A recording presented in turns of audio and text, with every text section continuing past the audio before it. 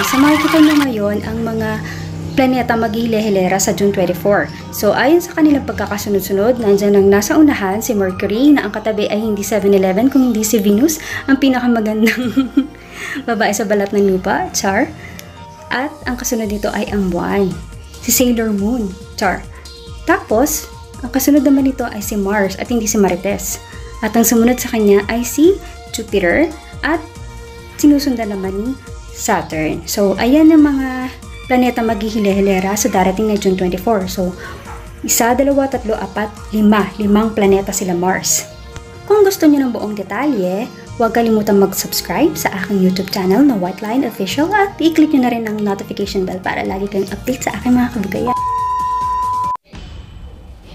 So, ayun nga mga kabugays, abagan natin sa June 24. Ito ang tinatawag na The Grand Celestial Alignment. Sinasabi rito na ang mga planeta ay maghihile-hilera. Ngunit hindi ito katulad ng paghihilera noong Abril. Sa pagkakataong ito, masisilayan natin ang Mercury at ang Uranus. Ang mga planetang Uranus at Neptune ay makikita lamang kung gagamitan natin ito ng telescopes or binoculars.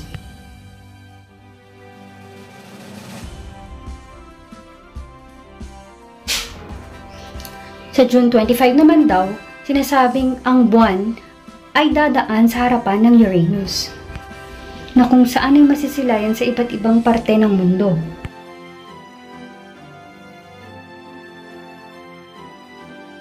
Sinasabing ang buwan ay tatahak patungong silangan at ang planetang Venus ay madaraanan.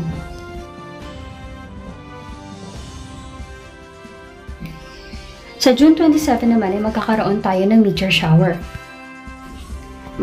Ang bukod tanging meteor shower sa buwan ng Hunyo.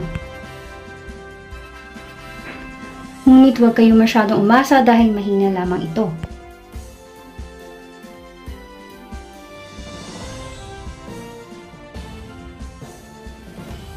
Dati-rati ang Neptune ay gumagawi pasilangan, ngunit sa pagkakataong ito, ito ay tutungong pakanluran.